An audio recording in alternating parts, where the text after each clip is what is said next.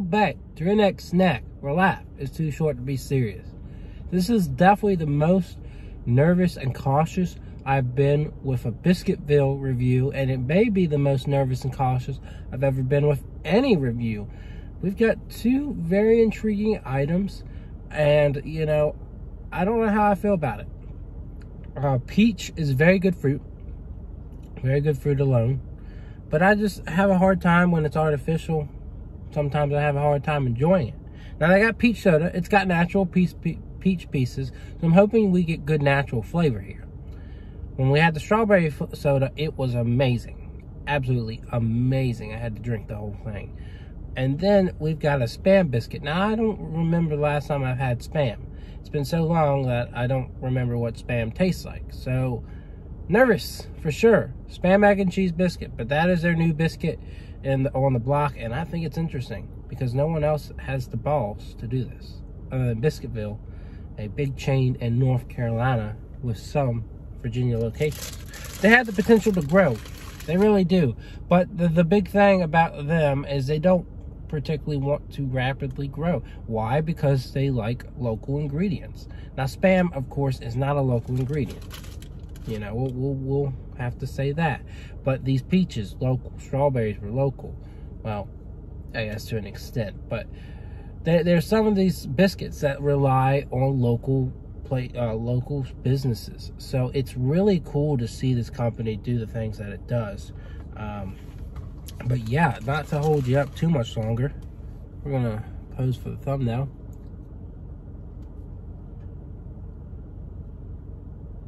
And I ask that you please do subscribe, like, comment, and share this video, and check out my Instagram, Redneck Snack. So yeah, we're gonna start with the Spam Biscuit. Very intriguing, but it's here, and I'm here. So Let's do it.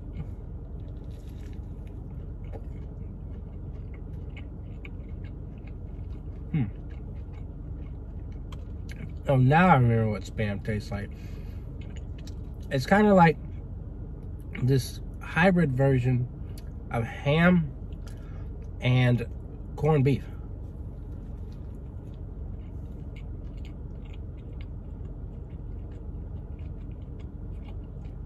It's not bad.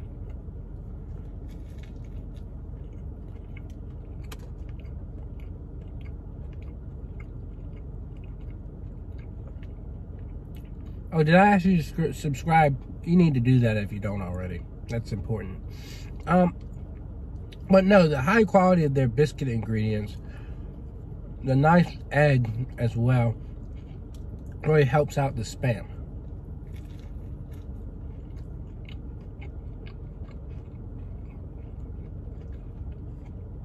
I wouldn't call it a remarkable biscuit, but I am enjoying this.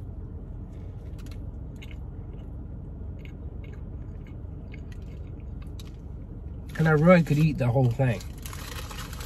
The biscuit and all the other things that are in here are not too salty. So it's not, you know, overloading the salt when you got Spam that's really salty. So it's kind of keeping that into respect. And it's really holding its own. It's doing a good job. So I have to give them credit for doing something very interesting with spam. You know, you never would have expected me to do a review on spam. But honestly, it's it's pretty daggone good. I, I would say seven. It's not remarkable. It's not going to blow you away. But the way they work it, it really does go well. Like spam on a biscuit. Who would have thought? Who would have thunk it? Okay, so peach soda. Last time I had a soda from here, it was divine. So we're going to have our fingers crossed. We're going to hope. We're going to pray. But we ain't going to do it on camera. So anyways, let's do this.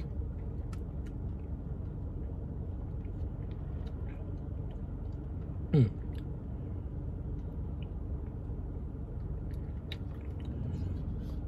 High levels of carbonation there and a pretty decent peach flavor. But I don't think I like it as much as I like the strawberry.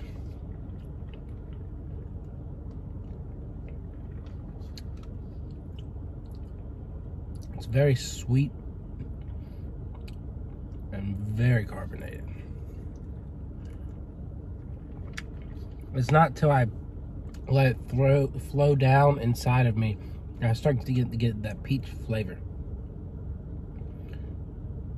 I wouldn't say I love it. I wouldn't particularly say I really like it. I think it's okay.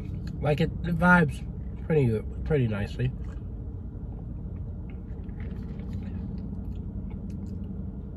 Definitely better than any uh, sparkling water. That's for sure.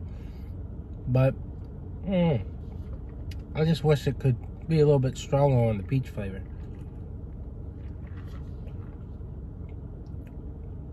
But it's not bad.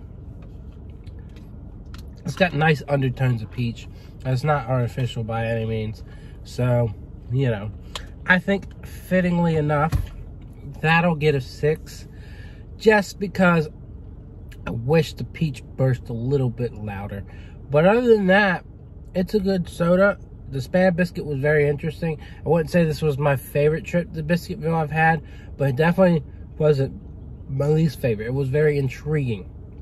I think last time was my favorite trip because of that strawberry soda and then the biscuit.